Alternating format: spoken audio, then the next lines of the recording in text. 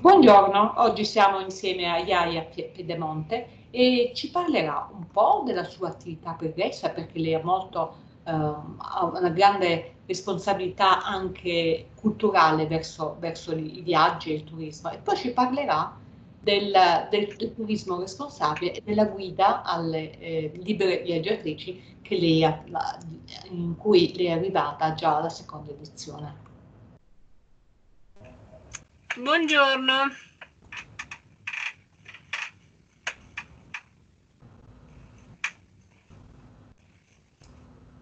Iaia, che ci racconti? Allora, eh, prima di tutto eh, vi posso raccontare semplicemente quello che diceva eh, adesso Caterina, eh, del fatto che il turismo responsabile esiste naturalmente come definizione da tantissimi anni,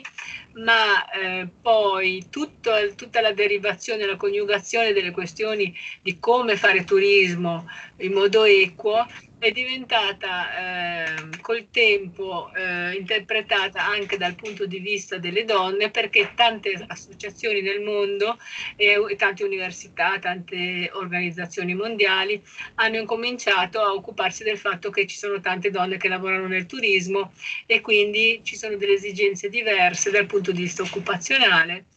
e a me è capitato semplicemente di partecipare a dei eh, lavori sul campo, con dei progetti sul campo con le Nazioni Unite in cui siamo andati, in, con cui sono stata per un po' di tempo eh, in Yemen per esempio e semplicemente lì eh, concretamente vedevamo come loro stavano facendo un bellissimo progetto di, di, turismo sostenibile e abbiamo un po' visto come poi cercare di inserire eh, le signore arabe che abitavano in questo villaggio anche se poi comunque dipende molto dal tipo di cultura e di società. Però ecco ho incominciato a capire appunto le differenze eh, delle necessità eh, occupazionali nel turismo eh, dalla parte degli uomini e dalla parte delle donne perché effettivamente poi nel lavoro ci sono delle differenze e ci sono comunque delle differenze anche nel modo di comunicare, di accogliere proprio per carattere delle donne. E poi eh, anche andando avanti nel tempo eh, ci sono dei luoghi, per esempio alla fiera del turismo di Londra o di Berlino, in cui fanno proprio delle giornate speciali dedicate al turismo responsabile e dedicate anche alle donne nel, che lavorano nel turismo. E quindi lì è molto interessante perché si incontrano esperti di tutto il mondo che hanno fatto magari analisi approfondite sul campo dei problemi che possono avere le donne che lavorano nel turismo, eccetera. È molto interessante perché si discute appunto la parte eh, di equità e di uguaglianza. E per esempio eh, l'anno scorso scorso, non quest'anno perché non c'è, è saltato tutto per eh, ovvi problemi. Eh, L'anno scorso a Berlino c'è stato anche tutto un grande dibattito sul fatto che nei grandissime fiere del turismo che ci sono in giro per il mondo, quando ci sono i dibattiti eh, sul palco con i grandi personaggi, eh,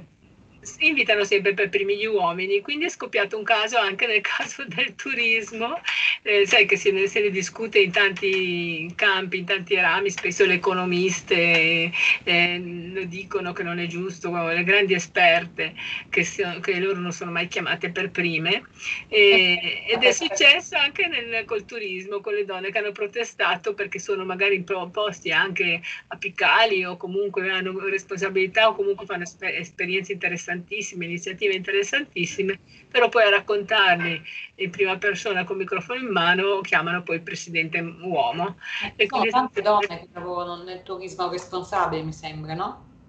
Nel turismo responsabile, sì. Degli uomini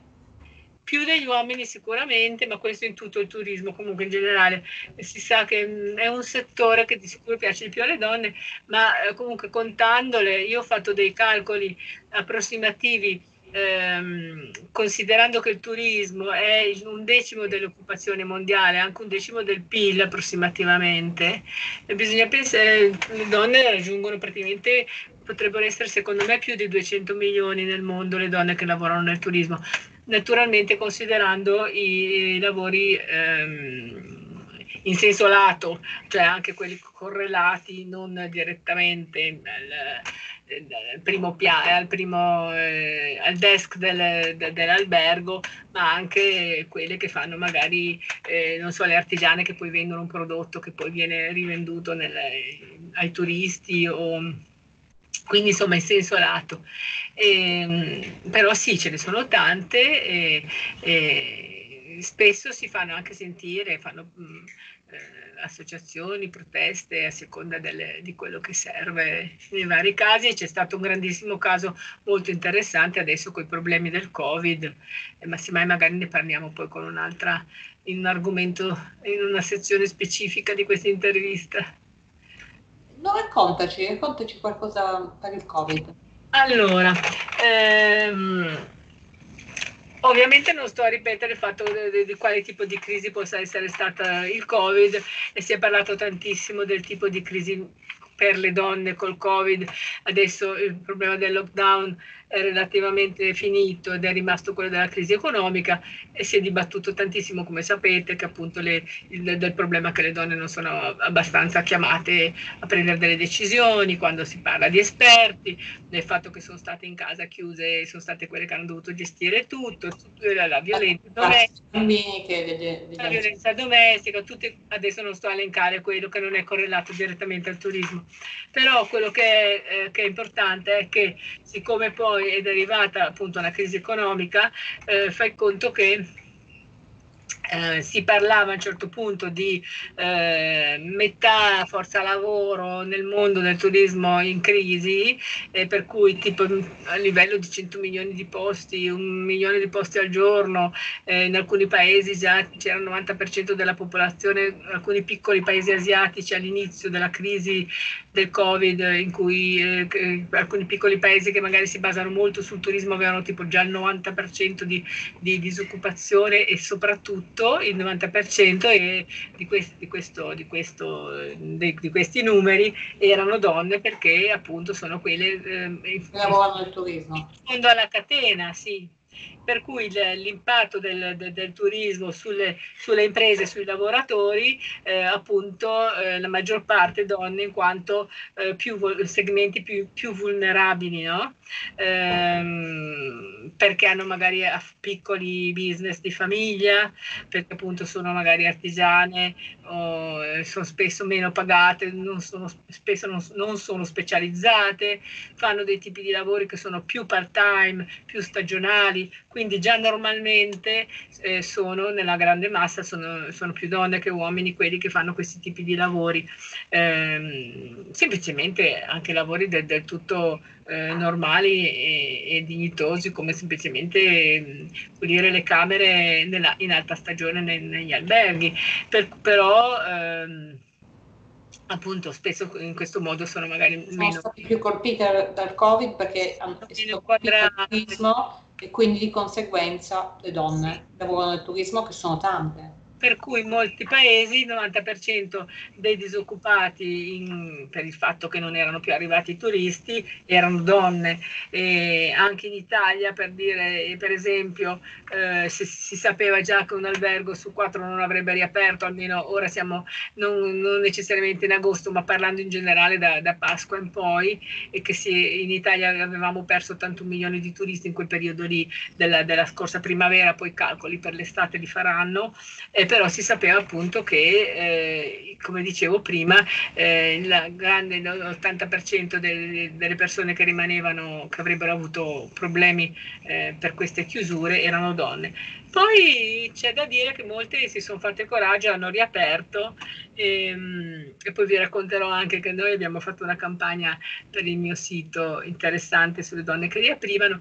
eh, ma comunque è stato molto interessante durante il Covid eh, parlare del, durante la chiusura però, eh, parlare con donne in tutti i paesi del mondo perché erano in casa che non stavano lavorando e a seconda dei paesi era molto interessante vedere come eh, riuscivano a riorganizzarsi in qualche modo modo, magari facendo altri lavoretti, o invece erano semplicemente preoccupate perché non, non sarebbero arrivati i turisti, non so, eh, nei bed and breakfast italiani o gli agriturismi italiani erano molto preoccupate perché effettivamente se sei in Toscana e se non ti arriva neanche un turista non hai tantissime alternative di lavoro, mentre una signora in Islanda mh, mm, mi raccontava che comunque lei eh, aveva le mucche, si occupava dei, dei cavalli, un'altra nel, in Perù. Ehm, mi raccontavano che eh, avevano niente, che andavano, vivevano come le loro nonne, come prima dell'era del turismo, per cui stavano tutto il giorno nei campi per coltivare le patate ed erano abbastanza rassegnate, rassegnate alla povertà, bisognerebbe, si può dire, eh, è ovvio, sarebbe un discorso da approfondire, però era interessante vedere il tipo di reazione. In Africa, per esempio, ho parlato con una ragazza simpaticissima nel Benin che ha un'associazione che si chiama Eco Benin e loro fanno tantissimi tour, viaggi, soprattutto per i francesi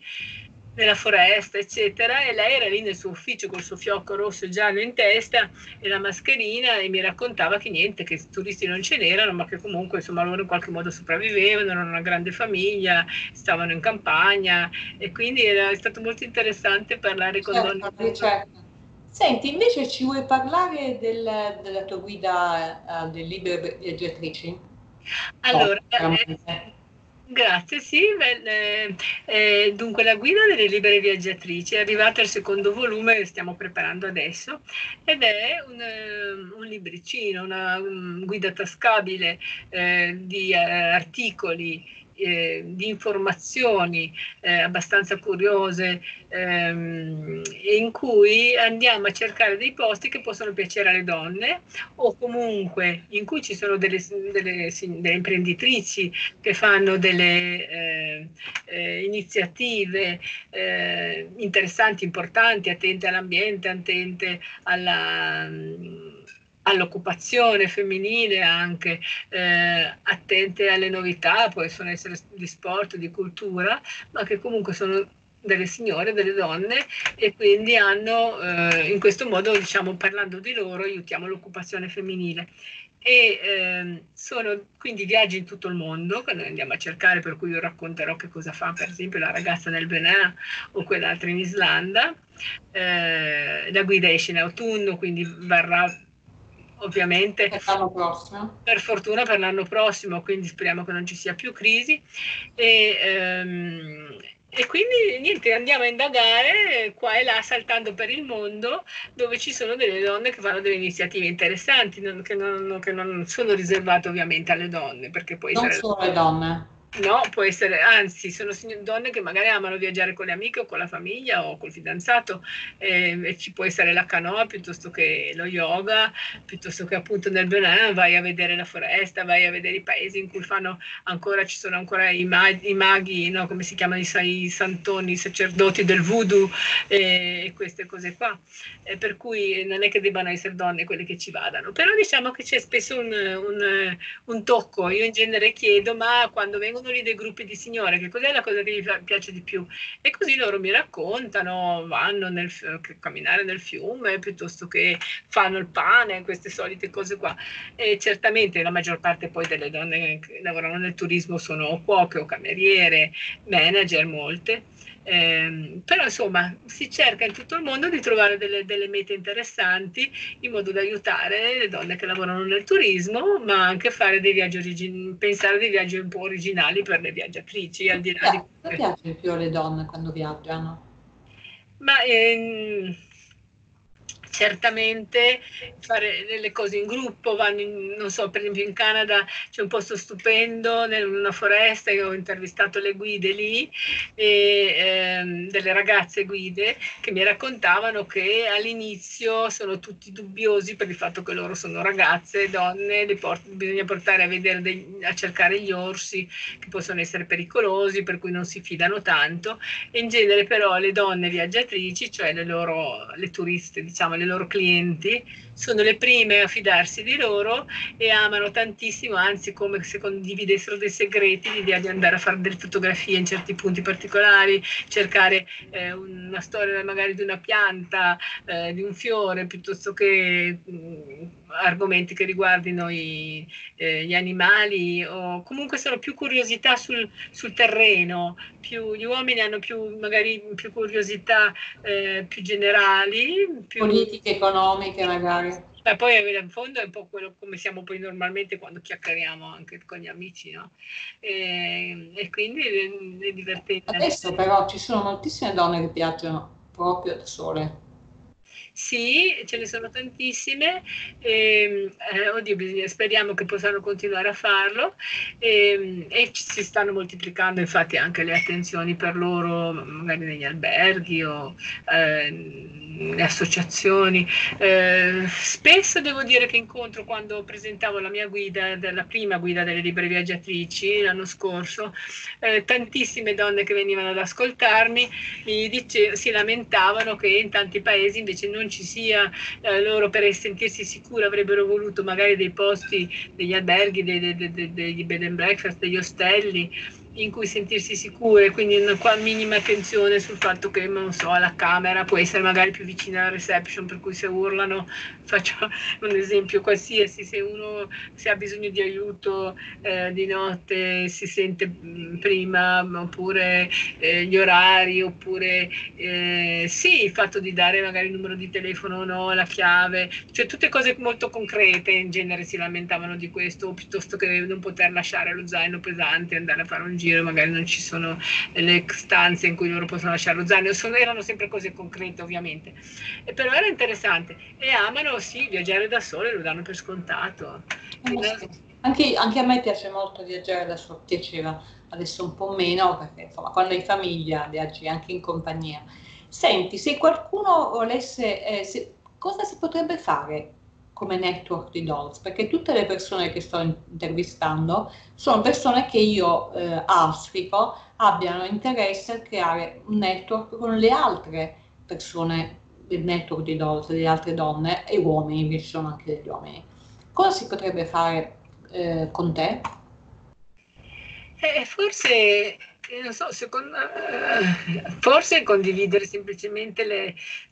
con i nostri post il, le nostre normali le comunicazioni che facciamo tra noi e, eh,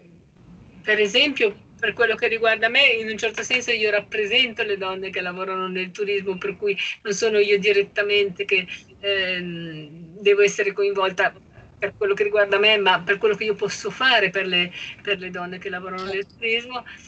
Per esempio, sul mio sito. Io, noi abbiamo incominciato una serie di eh, pagine che si chiamano offerte speciali delle, per le libere viaggiatrici, per esempio, e sono eh, le iniziative che delle donne imprenditrici che hanno, che so io, vogliono fare uno sconto alle viaggiatrici che vanno a trovarle eh, per visitare una città dormendo nel loro eh, bed and breakfast, piuttosto che guide che magari vogliono offrire una parte di tour o un'accoglienza particolare. Eh,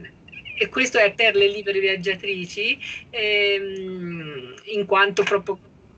categoriche, cioè come se fosse un club, chiamiamo, diciamo così, per, per, intenderci, anche se non lo è, e in un certo senso si potrebbero coinvolgere le, eh, eh, le persone che seguono comunque Dolls, eh, perché semplicemente andando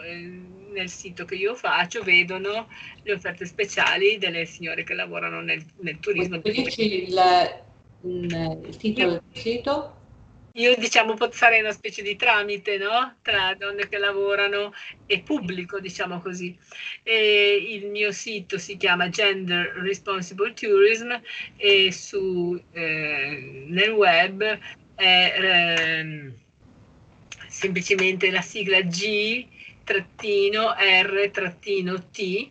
e questo perché è un nome un po' difficile, ma eh, quando io avevo provato a cercare dei nomi in italiano con donne, viaggi, eccetera, venivano poi alla fine venivano sempre fuori i siti porno, mentre Gender Responsible Tourism è proprio la definizione eh, tecnica che usano nelle università dove hanno dei corsi, nelle, dove studiano turismo, hanno proprio dei corsi, degli, degli esami dei, dei, dei docenti che con la materia proprio che si chiama Gender Responsible Tourism.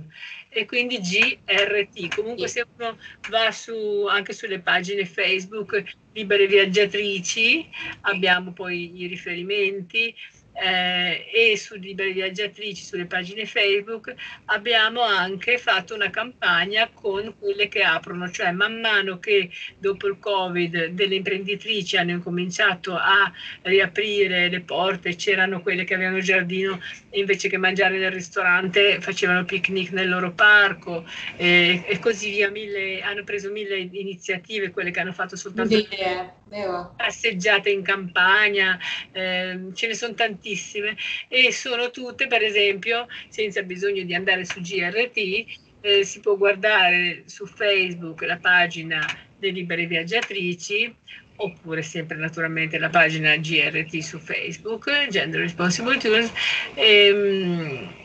e lì ci sono le, appunto le offerte delle imprenditrici che vogliono accogliere le viaggiatrici eh, con delle idee diverse, oppure semplicemente l'elenco di quelle che hanno riaperto le porte al turismo cercando appunto di lavorare quest'estate. E, quindi insomma i collegamenti sono tanti, e poi semplicemente se ci linkiamo, se ci linkiamo con il sito di Dolls, che almeno c'è un nome facile da ricordare. Mm-hmm Senti, ehm, se qualcuno ti volesse scrivere direttamente, tu saresti disponibile a rispondere alle loro domande? Eh, sì, certo. Potresti veicolare eh, la, la, domanda attraverso il tuo sito? Eh, nel senso, sì, ma tu dici se qualcuno vuole scrivere direttamente perché vuole andare in vacanza da qualche parte dove ci sono le. Vuole qualche notizia, sì, vuole parlare con te. Posso girare, sì, la mia... Sì, in genere non, non è neanche necessario perché magari uno vuole guardare le, le mete più di cui io parlo. Comunque, certo, se uno vuole proprio chiedere esattamente, precisamente a me, eh, può mandarmi un messaggio sulla pagina Facebook come Iaia Monte. D'accordo. Senti, ti ringrazio, eh, buone vacanze, speriamo che il turismo responsabile avanzi sempre di più, anche perché adesso i tempi sono maturi o forse un tempo non lo erano, ma adesso sì, e, e a, a, presto. Grazie. Grazie mille, grazie ciao, mille. Ciao. Ciao Caterina, grazie. Ciao. Ciao.